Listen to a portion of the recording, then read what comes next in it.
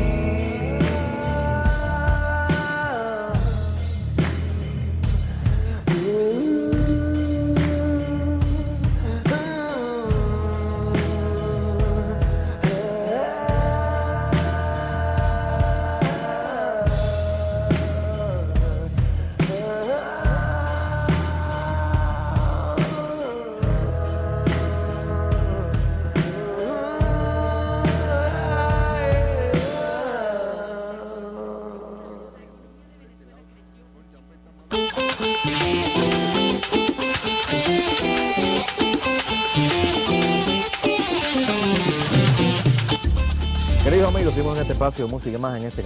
Gracias a David Blanco por este primer tema. Por supuesto que estaremos conversando con él dentro de unos minutos. Ahora quiero mm, conversar con dos artistas también que forman parte de Beat Music de estos 20 años. Han estado muy ligados a, a este joven sello discográfico cubano. Uno ha venido en, creo que en 10 o 15 ocasiones, el otro ha venido apenas en 3 o 4. Los dos son de la casa, los dos son grandes amigos y les agradecemos muchísimo públicamente que vuelvan a venir a Música y Más. Maestro Alberto Álvarez y el maestro Tony Vinelli. Gracias, estrecho sus manos, por supuesto. Gracias a ambos Gracias por, a ti, Donny. por venir. Un, un placer realmente que vengan por acá. Bueno, With Music es la, la disquera que, que a ustedes pues los ha unido, en este caso lo ha hecho coincidir en este espacio, de muchas maneras. Yo quería comenzar, bueno, hacer la, la charla interactiva, no con uno y con otro, sino con, con los dos a la vez. Claro. Desde el punto de vista de lo que sucedía aquí en los años 90, mm, que es cuando surge Beat Music, qué, qué estaba pasando discográficamente en el país, eh, qué sucedía desde el punto de vista también, digamos, la proyección internacional de los sellos, o del sello Gren, que era el único sello cubano hasta ese momento, cómo era el entorno, eh, digamos, histórico, si se puede decir de, de ese- de ese- de esa manera, en que surge entonces Beat Music en el, en el 93. Para eso eres especialista. Bueno, mira, Productor musical, por supuesto. había, había un- una serie de experimentos que se habían logrado ya con empresas que se salían un poco de, la- de- de cierta rigidez burocrática que se entendía a partir de, del socialismo administrativo, como lo calificó Armando Hart. Ahora, ¿cuál es el problema? Se creó empresas, digamos, como Contex, que fue la primera, la 01, que fue eh, eh, una empresa denominada autónomo tipo privado, que nunca fueron privadas, eran estatales. Y también se siguió entonces la, la corriente con, con eh, Artel, se llamaba primero, con matriz en Liechtenstein. Sí. Hasta allá fuimos, el primer bar lo vimos allá. Y entonces el problema fue que se creó toda esta cosa y dentro de la agencia artística, que ya después se llama Artex, definitivamente toda la empresa, pues entonces lo que era un holding, digamos, de distintas empresas y especialidades, pues entonces también había un departamento de discos pequeño. Ya en una segunda etapa de Artex, que está de presidenta Mercedes Rodríguez Piñón, Bambina, es que eh, se crea un departamento de marketing que yo había tratado ya de crear anteriormente. Y entonces ahí fue donde se hizo un estudio de ese departamento de discos y se le propuso a la dirección de Arte que se calificara como unidad estratégica de negocio. O sea, una disquera, ya completa. Sí, porque hasta ese momento, Tony, perdona, no, no era... No, No era una disquera, era un no era- departamento que hacía ciertos discos. Y sobre todo con un cubano admirador de la música cubana, una bellísima persona que fue Eduardo Hernández, que fue el que llegó, residente en Venezuela en ese momento, aportó el capital, ¿no? Y se empezaron a producir las matrices históricas del Aragón y de toda la música que pudiéramos calificar retro en, en disco compacto. Ya se habían hecho discos compactos, pero no para vender en Cuba. Con Artex, que tenía una incipiente red de tiendas, sí ya se pensó en vender en Cuba en discos compactos. Porque hasta ese momento, perdóname, eh, ya habían coqueteado algunas disqueras extranjeras, o sea, foráneas. Sí, se licenciaba. Caribe Production Cuando se crea Artex, el Ministerio de Cultura le plantea a la GREN, prácticamente por UCASE, de que le dé un por ciento grande de sus matrices que tenía en el llamado archivo pasivo, que era el más activo, Sí. Porque era una colección de música y todavía los nuevos nombres, a pesar de que ya se iban imponiendo por su fuerza y su calidad, no sonaban lo suficiente como para traer a disqueras tradicionales que vendían música cubana. Entonces, de ese, ese archivo pasivo, que era donde estaban guardadas todas las matrices del ayer, se convirtió en el más activo, mientras se iba empujando a toda eh, la gente que, que venía saliendo nuevo. Iraquere, son 14, Van Van, hasta la banda después en el 91. Pero ¿qué pasa? Que en ese interín nosotros teníamos y manejábamos desde Artex, ¿no? Que yo no quise ir para Artex de un principio porque no entendía por qué no se le daba la flexibilidad a la empresa estatal y tenía que crearse un mecanismo paralelo. Nunca estuve de acuerdo con eso. Pero después nobleza obliga, vi que ahí había más posibilidades de trabajo, me tuve que ir para allí. Claro. Ahora, ¿cuál es el problema? Que nosotros creamos un catálogo que empezamos a vender. Me acuerdo que la primera contratación que hicimos ya convertido en empresa fue con una empresa francesa, Flarenage, que licenciamos unos discos eh, por- y nos entraron 14 mil dólares, los primeros 14 mil dólares que entraron. Imagínate. Metimos una fiesta, compramos botella de Roma, que fue un fenómeno. Entonces, ahí empezamos a vender. Claro.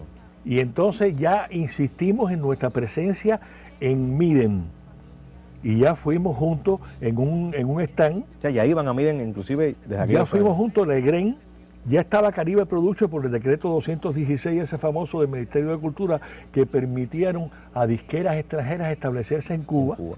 Arcolor tenía que ver también en aquella. Alcoro sí que era la, la de Alicó, Alicó, que había sido representante de Pablo Milanés, que era un hombre de izquierda, amigo de Cuba. Eh, Estaba Magic Music también. Está- aunque era más amigo de, Cuba, pero bueno, de todas maneras estaba. después vino Magic Music, vino Caribe Production, Lusaka, o sea, una, una cantidad de tremenda de disqueras, ¿no? Y, y así fue que se fue abriendo el campo. Llega un momento que se cumple el término de la eh, licencia que nos da Begren, que coincide con la formación como unidad estratégica de negocio de Artex, y es que empezamos a fabricar nosotros ya y empezamos a contratar artistas. Primero empezando porque nos quedábamos sin línea retro, porque la Gren no quiso renovar la licencia Del, del archivo pasivo que hablaba. del ahorita. archivo pasivo. Entonces, ¿qué hicimos? Creamos una leyenda de, eh, de mm, ¿cómo se llama? Catálogo retro, pero grabada actualmente. Y ahí fui cuando, cuando hicimos las más famosas de Cuba, con Pio Leiva, con todas, todas- todas estas cosas, las más famosas, uno de los discos más vendidos. sí, un hito en la discografía cubana. por Y entonces todo eso lo fuimos haciendo poco a poco hasta que después ya eh, pasa a ser Beat Music. Cuando Darcy Fernández Maceira, que era la abogada de Arte, eh, Cari Diez, que fue también pionera de eso, fue quien primero dirigió el departamento de disco, se fue para, para Magic Music, yo me fui para Caribe Production, o sea, pasamos a Mejor Vida, y entonces se hizo toda esa, toda esa cosa, ¿no? Casi todos los artistas nuestros de puntería empezaron a firmar con esas disqueras, disqueras autorizadas en Cuba. ¿Por qué? Porque había una mayor inmediatez. Y entonces eh, había precios concurrentes, al ser extranjeros, manejaban precios dentro de la concurrencia internacional y otras garantías en los contratos. O sea, todo ese movimiento sirvió para modernizar el concepto claro. de nuestra concepción disquera en el país. Beat Music, bueno, muy rápido, no tenemos eh, Claro. todo el tiempo que quisiéramos. Pero dentro de los nuevos eh, retos o las nuevas realidades que planteó a raíz de toda esta serie de, de competencia, como tú dijiste ahora al final, con otras disqueras como Caribe, como Arcolo, como otras más, introduce códigos y, y- y nuevas formas de, de negocio. Que estaba la, la llamada exclusividad, lo que se mantiene hasta hoy, el Claro. exclusivo, el cual maestro es un, es un abanderado. ¿Cómo, cómo llega, cómo, cómo usted que tenido un olfato extraordinario para la música, para- también para, para estar de alguna manera eh, con grandes sellos y es decir, distribuir su discografía, ¿cómo es que usted apuesta, cómo es que usted llega, acepta en aquellos años que, no, que en Cuba no se conocía esa terminología? Usted la conocía, por No, supuesto, no, por realmente otra... no. Nosotros estábamos, habíamos hecho cosas, bueno, ya como decía Antonio ahorita, ¿no? Con Legren, los discos de Son 14, los primeros discos de Son 14 que, que yo había grabado, los había hecho con, con Legren. Y después tuve eh, también, ya cuando se abre esta, este, esta parte que habla Tony eh, con, con Caribe Production, Caribe Production. eh, había hecho algunas cosas con Caribe también, pero realmente yo siempre le tuve miedo a la firma eh, de exclusividad con, con disqueras extranjeras. Al final eran- no eran disqueras cubanas, eran disqueras extranjeras. extranjeras. Entonces, le tuve miedo porque eh, había visto casos de disqueras extranjeras que te, te- te piden la exclusividad, te amarran de cierta manera porque estás, tienes un contrato Eso le pasó a Bambán. Ah, bueno, un contrato de exclusividad con esa, con esa disquera y tu disco no lo ves más ni en los centros espirituales. Te después engavetan te para que no compita con los que no- te engavetan el disco y entonces yo eh, eh, pensando en ese momento realmente con muy poca experiencia del mundo este discográfico pero pensé mira si yo firmo con una disquera cubana eh, yo si tengo que dar un escándalo lo voy aquí en, en mi país no tengo que ir a firmar a Estados Unidos y a firmar una bronca en otro lugar me pasó eso en- en- de- después tuve ofertas ofertas te digo de verdad de personas con, con un maletín así te digo fue así no es no es un cuento de, dinero en mi casa para que yo firmara eh, una exclusividad con eh, un momento determinado en que en que todo el mundo diría bueno el dinero hace falta pero pero después decía mi tranquilidad y ahí decido eh, firmar con con Miss Music. Con creo que fue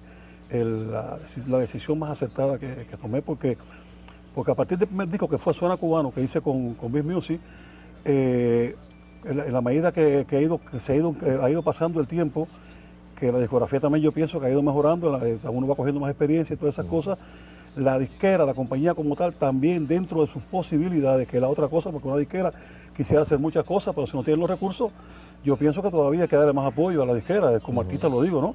Nosotros estamos limitados de muchas cosas, nosotros para ponernos, para ponernos en el mercado internacional cuesta mucho trabajo, independientemente de que ahora que existe el internet y que existe eh, iTunes y que existe una serie de cosas, pero es muy difícil trabajar para la disquera que lo quiera hacer todo cuando tú tienes que hacer las cosas a veces con bajo presupuesto, con bajo, bajo recursos, porque me parece que todavía la dirección, lo que atienden, no sé quién son, no sé muchas de esas cosas, pero no se han dado cuenta de lo que representa realmente un buen disco, de lo que representa, re- de lo que económicamente puede, puede aportar al país, las diferentes facetas de la cultura, en este caso la música, ¿no?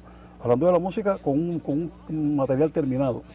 Un disco de Bambán, un disco de Alberto, un disco de Lito Revés, un disco, es un disco que va al mercado a competir con un disco de Gilberto Santa Rosa, con un disco de, de esta iglesia, de Enrique Iglesias, con un disco de los que más suenan en el mundo. Y lo ponen en el mismo, cu- cuando tenemos la suerte, casi nunca, de que nos pongan en un stand, porque alguien, pero ¿qué pasa? Que llevan a ese stand 50 discos, 100 discos, ¿eh? porque no, porque la fábrica se rompió, porque no sé qué más. Estamos en una desventaja tremenda. Y Además eso, de luchar contra un santo muy popular, que es el santoque. ¿Tú sabes por qué? Porque, por ejemplo, tú llegas ahora a, a- a la, a la disquera esa enorme de Champs-Élysées en París, Ah, sí, que hay más de 10 mil títulos. increíble. Entonces hay unos cuantos postes donde tú oyes los discos que te está proponiendo la disquera. O sea, la tienda. La tienda. Esa tienda te propone los discos que paga un precio especial la distribuidora para que estén en esos postes Una prima, de decir, promoción. una prima. Claro. Y entonces nosotros No pagamos la no, prima. estamos No estamos nada, en estamos... Belén con los pastores. Eh, nosotros lo que pasa es que tenemos, tenemos yo, yo diría que la fuerza, la calidad de la música el se prestigio. impone, el prestigio de la música cubana se impone y muchas personas van y, y compran, pero la, la desventaja es muy grande, incluso a la hora de negociar las presentaciones en vivo. Sí.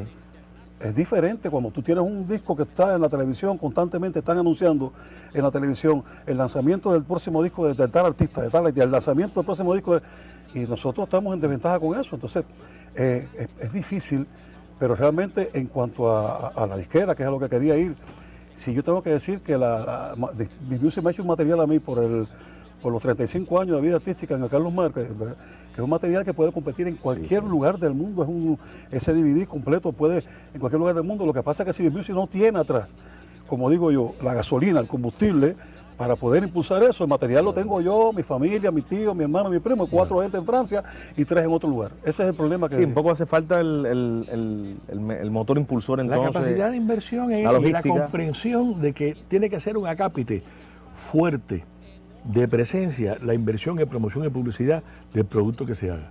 Tú nada ganas con tener un disco y tenerlo metido. Es como tú tener el diamante Colinor, el más famoso del mundo, en la gaveta de la mesa de noche. Ajá. No pasa nada. Mm. Tienes que exhibirlo, tienes que ponerlo a la consideración de los expertos y del público en general. Claro. Beat Music, bueno, ha sido una disquera que, bueno, su casa, maestro, su casa discográfica. Sí. Eh, a raíz de aquel primer disco Zona Cubano, bueno, hasta, hasta el más reciente, pues. pues, que sale bueno, ahora. Es la exclusividad, claro. Sale uno ahora. Eh, Sí, usted lo había el- anunciado el en diciembre. para los mayores sale ahora, ya este, este mes debe salir. Sí. Y- ¿Sale este mes, Tony? Este mes creo que sale. Ya, sí. qué bueno. Esperemos. Lo esperemos. anunciaron eso, ¿no? Claro, claro. Vamos a ver. Porque tú sabes que, bueno, los problemas de la fábrica, eso es otra cosa. Lo que se empezaron a hacer en, aquí. Aunque ya tenemos fábrica en Cuba. En Cuba, pero Hay ha una cosa que, que- que- que es bueno decir. también. Creo que me permite decir una cosa. Se ha adelantado mucho y se ha trabajado mucho también en la disquera. Vamos lento en ese asunto porque no es fácil. Los problemas de los, de- de los presupuestos en Cuba es, un capítulo muy difícil. Pero yo pienso que sí que se ha adelantado, pero creo que se puede, como dice Alberto, adelantar mucho más. Porque el nivel musical nuestro, nosotros no somos un mercado. De, de- aquí fácilmente podríamos tener un promedio de un disco per cápita, y somos 11 millones, o sea, sería una cifra respetable. No vendemos más de 300 mil por cuestiones económicas. Pero como mercado de referencia, Cuba es de lo más respetado Sí, mundo. sí es importante, ¿no? Yo creo también hay una cosa que es importante. Yo creo que en una disquera, eh, hay disqueras que, que- que deben de satisfacer las necesidades, eh, bueno, culturales, en- por decirlo de, de alguna manera, ¿no? Y hay que grabar, yo pienso que hay que grabar lo mejor de la música en, en- en cualquier género que sea. Lo mejor de la música clásica, lo mejor de la música contemporánea, lo mejor de... Y en eso depende mucho el, el- el proceso de, exclu- de- de selección, de la selección. Yo pienso que hay que tener ojo. A veces nosotros, si tenemos poco, si tenemos poco, yo pienso que eso poco que tenemos, vamos a tratar de, de- de- de invertirlo en lo que, en lo lo que, que valga la pena. realmente valga la pena, porque a veces nosotros eh, quizás hacemos una inversión en algo que se va a quedar allí, que no, por un gusto, no sé, eh, pero si, si nosotros hiciéramos una inversión y se coge un grupo de, de artistas de realmente en, en todos los géneros, de verdad, y se apuesta a eso, esos van a hablar después a los que vienen El saliendo. reto, claro, el reto por que va van a saliendo. permitir hacer que discos que pueden ser no comerciales, pero sí indispensables para la cultura. Sí. Porque hay un problema. Sí, eso- que es una cosa mejor- financia la otra, ¿no? Sí. Ya no se puede concebir un disco si no es con el audiovisual y el espectáculo. Hoy en día Eso son es. tres, ya, ya es completo. Como dices tú en tu programa Fado la Maya, con ese Sí, lenguaje que, que sí, tanto sí, te caracteriza. sí, sí, sí. No tenemos tiempo para más. Yo les agradezco muchísimo. Eh, esto es un primer acercamiento. Yo, yo hago la, la- la invitación pública que podemos reiterar esta, este debate, esta entrevista, este, esta charla, como esta plática, en otro momento para hablar de, de la discografía cubana, por supuesto a través de Music, que es la casa que, que los une a ustedes como artista exclusivo y como directivo que fuiste y productor discográfico que eres aún en activo. de- Y bailarín español, lo que pasa que ya no, no es eso. ¿Eh? A bailarín español, pero ya no baila. Ya no va. Gracias al maestro Alberto Álvarez, al maestro Tony Pinelli, por supuesto. Y queda pendiente también una visita con tu disco que ya está terminándose. Sí, homenaje a, a tus canciones, a tu obra, que es fabulosa. Y que ahorita tú hablabas con Alberto. Me lo prometió. Sí. Ya estoy esperándolo como cosa buena. Gracias a ambos, por supuesto. Amigos televidentes, decimos en este espacio Música y Más, hoy dedicado a los 20 años de Beat Music. Muy buenas.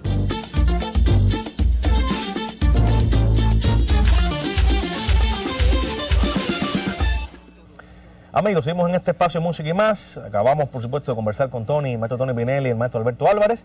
Y como prometí al principio del programa, vamos a invitar, vamos a conversar con David Blanco, nuestro invitado eh, musical, con su banda, por supuesto. Venga para acá, querido amigo. Un fuerte aplauso. Gracias por estar con nosotros. Nuevamente, Música y Más. Es un, honor que, que- que hayas dicho que sí, por supuesto. a- a nuestra Siempre que me invitación. llame, como dice la canción, a la hora que tú me llames no me molesto. Qué bueno, David, qué bueno. Eh, bueno, ya viste lo que decían Alberto y Tony sobre bueno, los inicios de Beat Music. Yo decía al principio del programa que tú durante mucho tiempo fuiste el, artista más joven de Beat Music eh, dentro del catálogo. Ya no eres el más joven, pero aunque sigues siendo joven, eres de la gran familia de Beat Music. Tu, discografía, bueno, avala esa, etapa y la sigue avalando, por supuesto. Cuéntame cómo llegas, eh, cómo te imbricas en este, en este catálogo, tus contactos con una disquera española también. ¿Cómo fue la, Bueno, fue un, la momento, relación? fue un momento mágico en mi vida. Imagínate que yo había acabado de hacer el grupo y tenía unas maquetas grabadas. Y yo le enviaba esas maquetas a todas las disqueras que, que- que podía, mm, empresarios extranjeros que venían de, de afuera buscando música cubana nueva, eh, las mismas disqueras cubanas, se lo hice llegar a Legrain, se lo hice llegar a... Tú sabes que cuando uno está empezando trata de repartirle la música a todo el mundo. Claro. Y casi todas las, bueno, todas las disqueras me decían que no. ¿no? Dice, no, es que eso, ¿quién tú eres? No te conocemos. Y me parece que está, está poco comercial, está demasiado elaborado, necesitamos canciones más, más comerciales, ¿no? Porque al principio mis maquetas tenían mucha influencia de, de rock sinfónico, eran muy experimentales, yo, yo siempre fui músico muy experimental. Y poco a poco fui mm, poniendo las cosas más a- a- eh, asequibles a- al público. Gracias, recuerdo que mm, en un momento de mucha incertidumbre logramos que algunos directivos de la, de la disquera Beat Music fueran a verme en un concierto que, que hice a mis inicios en el Delirio Banero. Y a partir de ahí eh, salió una, una relación muy especial de, de mucho amor que ha durado muchos años. Qué lindo, ¿no? Recuerdo en aquel momento estaba Gloria Ochoa y Cari Díez. Le debo mucho a ellas dos. A mi madre también, musicóloga, que, que apoyó muchísimo, hizo mucha eh, fuerza en ese momento. Alina Ponzoda. Ajá. Y recuerdo que sí, me dijeron, está bien, ¿por qué no? Vamos a firmarlo, vamos a hacerle un disco. Entonces hablamos con Emilio Vega, eh, gran amigo, es uno, uno de mis padres de- de- en, en la parte discográfica, me enseñó muchísimo y produ- producimos el disco entre los dos. Sí, porque luego ya tú empezarías a hacer tus propias producciones, o sea, hacer tú tu productor. Después trabajé en otro disco con otro productor en España, Jaime Estino. Jaime Estino, Aprendí muchísimo allá. Jaime, que bueno, ha Hasta, bueno, Sabina. hasta ahora que produzco los discos. Jaime Estino que ha trabajado con Sabina y con otros grandes... Con muchísima gente. Eh, ya, ya eso es parte de, cómo se llega a otros lugares.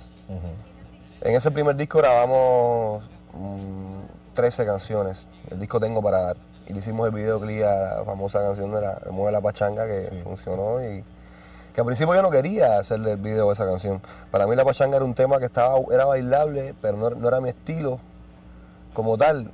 Y después eso hizo que la gente pensara que sí era mi estilo. Entonces era- fue difícil convencer de otra forma, hubo polémica. sí. Pero por eso mismo la disquera quería hacerle el video a ese tema y, y tuvieron razón.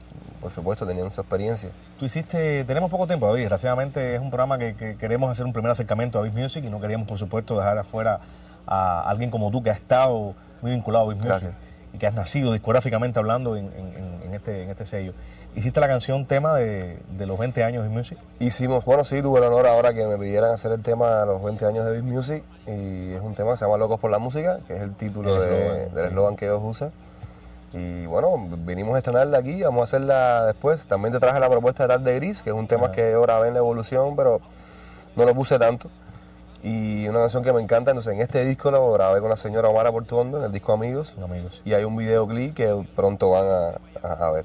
Sí, amigos, que bueno, ya, ya hiciste el lanzamiento en el Carlos Marx, ya del, del- que lo filmaste inclusive para... Ya, es un DVD que estamos editando ahora mismo con una productora joven que se llama Puntilla Film. Ya había algunos Te enseñé en aquí, algunas gracias cosas. a tu cortesía, por supuesto. Y nada, también con mis music y todos esos trabajos. ¿Piensas en, en, en, por ejemplo, en el futuro inmediato seguir trabajando con Miss Music desde el punto de Sí, vista hubo, discográfico? claro que sí, hubo una, mira, mis music siempre ha sido mi disquera eh, para Cuba y, y también para el resto del mundo. En el, se- en el segundo disco lo firmamos con una disquera española, Latin Soul, sí, sí. El Despechado, que bueno, lo distribuimos, eh, lo distribuimos, la licencia se la hizo a la Warner en España. La Evolución salió con el sello Beat Music, pero en licencia a la Sony Music también en, en Argentina. Ajá. Y hemos, estuvimos por allá dos veces, hicimos presentación, lanzamiento del disco. Y por supuesto yo me siento bien, eh, estoy abierto, no tengo contrato de exclusividad como tal, ¿no? Claro. Eh, a lo mejor hay un momento que, que tengo que hacer un trabajo con Legren o con Colibrí o con otra discográfica. Eh, pero Is Music sí, es, es quien tiene mi, mi centro, mis discos así, los que la gente conoce, lo que el público ha escuchado hasta ahora. Qué bueno. Felicitarte entonces por, esto, agradecerte muchísimo que hayas estado en nuestro espacio. A ti. No tuvimos todo el tiempo que hubiéramos querido, pero desgraciadamente por hoy, pero vamos a hacer muchísimas cosas ya a raíz de, de este 2013 que haremos otras cosas con Miss Music y que ya, bueno, haremos otro, otro- Felicidades a otras Music. entrevistas contigo, por supuesto, y hablar ya de este DVD cuando salga. Que ya será, dicen algunos que para el verano ya va a estar. Ya, listo, este DVD está en- saliendo ya prontico, prontico. Bueno, te invito entonces, David, a pasar a nuestro set de música, a despedir. ¿Qué va- ¿Vas a estrenarnos entonces a regalarnos el tema 20 aniversario de los 20 Sí, locos por la música. Bueno, adelante entonces, David Blanco, lo que te preparas, despedimos el programa. Amigos, bueno, hemos al final de este Música y Más de hoy, con la suerte, la esperanza y el deseo de haber conocido un poquito sobre este maravilloso mundo de la discografía a raíz o a propósito de los 20 años de la casa discográfica Beast Music. A todos sus trabajadores, a sus directivos, a los que están, a los que pasaron por ellos, muchas felicidades y por supuesto en este año seguiremos hablando de estos fabulosos 20 años locos por la música. Hasta un próximo encuentro, muy buenas noches.